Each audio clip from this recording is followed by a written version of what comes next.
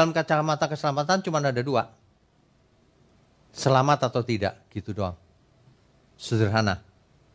Tapi itu tadi ya, kalau kita mau selamat, apa yang penting dan apa yang urgent. Nah ini yang penting. Ini yang harus kita uh, rencanakan mulai sekarang. Pertobatan bisa ditunda nggak? Pertobatan urgent apa enggak? Sangat urgent. Sebab orang yang menunda pertobatan, siapa tahu nanti malah mati. Emang nggak bisa mati? Emang anak muda nggak bisa mati? Sering-seringlah ke rumah sakit.